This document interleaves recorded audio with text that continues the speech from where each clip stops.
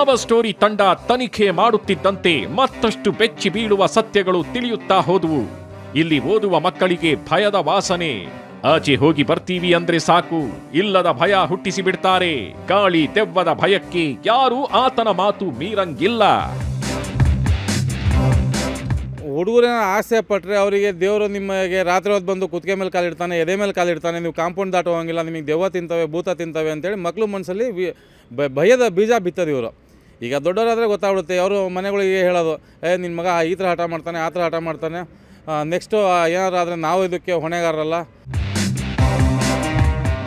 ಆ, ದೇವಸ್ಥಾನದ ಆವರಣದಲ್ಲಿ ನಡೆಯುತ್ತಿದ್ದ ಎಲ್ಲ ಚಟುವಟಿಕೆಗಳನ್ನ ನಾವು ರಹಸ್ಯ ಕ್ಯಾಮೆರಾದಲ್ಲಿ ದಾಖಲು ಮಾಡಿಕೊಂಡು ಮಹಿಳಾ ಮತ್ತು ಮಕ್ಕಳ ಕಲ್ಯಾಣ ಇಲಾಖೆಯ ಅಧಿಕಾರಿಗಳ ಗಮನಕ್ಕೆ ತರ್ತೇವೆ. ಮಹಿಳಾ ಮತ್ತು ಮಕ್ಕಳ ಕಲ್ಯಾಣ ಇಲಾಖೆಯ ಮಕ್ಕಳ ಕಲ್ಯಾಣ ಸಮಿತಿಯ ಅಧ್ಯಕ್ಷರಾದ ರೇಖಾ ಸುರೇಶ್ ಅವರ ನೇತೃತ್ವದಲ್ಲಿ ದಾಳಿ ನಡೆಸಲಾಯಿತು.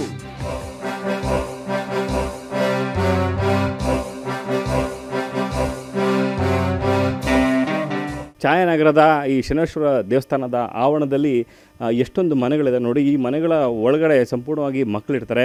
ಇಲ್ಲಿ ಈ ಪ್ರದೇಶದಲ್ಲಿ ಅಂದರೆ ಮಕ್ಕಳನ್ನು ಯಾವ ರೀತಿ ಇಲ್ಲಿ ಕೆಲಸಗಳನ್ನು ಮಾಡಿಸ್ಕೊತಾರೆ ಅನ್ನೋದಕ್ಕೆ ನಮಗೆ ಸಾಕಷ್ಟು ಸಾಕ್ಷಿಗಳು ಸಿಗ್ತಾ ಹೋಗ್ತವೆ ನೋಡಿ.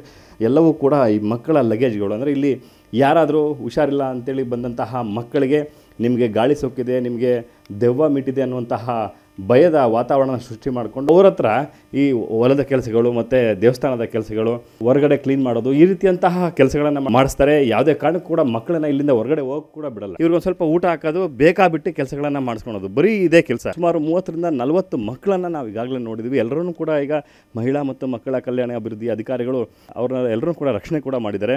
ಯಾರಿಗಾದರೂ ಎಕ್ಸಾಮ್ ಇದ್ದರೆ ಕೂಡ ಇವರು ಎಕ್ಸಾಮ್ ಬರ್ಸೋಕ್ಕೂ ಬಿಡಲ್ಲ. ಎಲ್ಲರೂ ಹೊರಗಡೆ ಹೋಗ್ತೀವಿ, ನಮ್ಮ ತಂದೆ ತಾಯಿ ಜೊತೆ ನಾವು ಹೋಗ್ತೀವಿ ಅನ್, ಅಂತ ಹೇಳಿದಾಗ ಕೂಡ ಭಯದ ವಾತಾವರಣ ಸೃಷ್ಟಿ ಮಾಡ್ತಾರೆ. ಅಂದರೆ ನೀವು ಹೊರಗಡೆ ಹೋದರೆ ನಿಮ್ಗೆ ಆಕ್ಸಿಡೆಂಟ್ ಆಗುತ್ತೆ, ದೆವ್ವ ನಿಮ್ಗೆ ಏನೋ ತೊಂದರೆ ಮಾಡುತ್ತೆ ಅನ್ನುವಂತಹ ಭಯವನ್ನು ಸೃಷ್ಟಿ ಮಾಡ್ಕೊಂಡು ಮಕ್ಕಳನ್ನ ಕೂಲಿಕಾರನಾಗಿ ಕೂಡ ಮಾಡ್ತಾರೆ. ನೋಡಿ, ಸಮುದಾಯ ಭವನ ಅಂತೇಳಿ ಒಂದು ದೇವಸ್ಥಾನದ ಒಂದು ಭವನ ಕೂಡ ಕಟ್ತಾ ಇದ್ದಾರೆ ಈ ಭವನದಲ್ಲಿ ಮಕ್ಕಳನ್ನು ಕೂಲಿ ಯಾಳುಗಳನ್ನಾಗಿ ನಡೆಸ್ಕೊತಾ ಇದ್ದಾರೆ ಇಟ್ಕೆಗಳನ್ನು ತರಿಸೋದಾಗಿರ್ಬೋದು ಮತ್ತು ಸಿಮೆಂಟ್ ಕಳಿಸೋದಿರ್ಬೋದು ಈ ರೀತಿಯಂತಹ ಕೆಲಸಗಳನ್ನು ಮಾಡ್ತಾ ಇದ್ದಾರೆ. ಅಂದರೆ ಈ ಮಕ್ಕಳು ಇಲ್ಲಿ ಆರೋಗ್ಯ ಸುಧಾರಣೆ ಆಗುತ್ತೆ ಅನ್ನುವಂತಹ ಉದ್ದೇಶದಿಂದ ಇಲ್ಲಿ ಬಂದಿರ್ತಾರೆ. ಆದರೆ ಅದನ್ನು ಹೊರತುಪಡಿಸಿ ಆತ ತನಗೆ ಏನೇನು ಬೇಕೋ ಅದೆಲ್ಲವನ್ನು ಕೂಡ ಈ ಸಣ್ಣ ಸಣ್ಣ ಮಕ್ಕಳಿಂದ ಮಾಡಿಸ್ಕೊತಾ ಇದ್ದಾನೆ.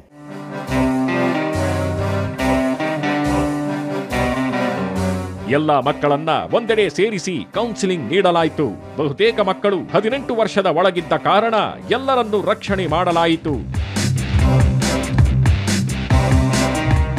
ಎಲ್ಲರನ್ನೂ ಬಾಲಮಂದಿರಕ್ಕೆ ಕರ್ಕೊಂಡು ಬರಲಾಯಿತು.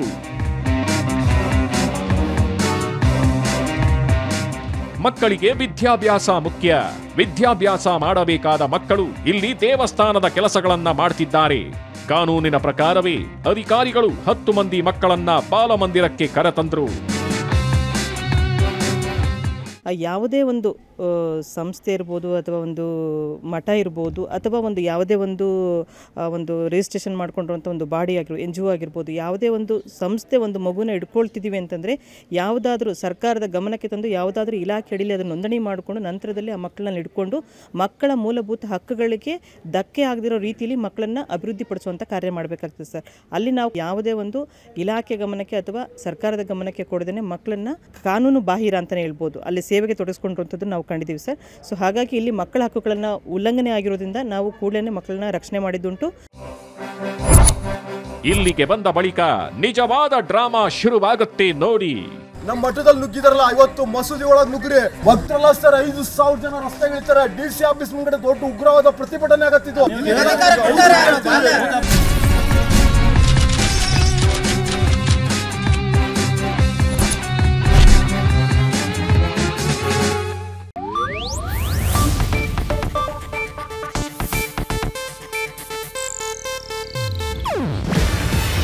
ಇದು ಏಷ್ಯಾನೆಟ್ ನ್ಯೂಸ್ ನೆಟ್ವರ್ಕ್ ಪ್ರಸ್ತುತಿ.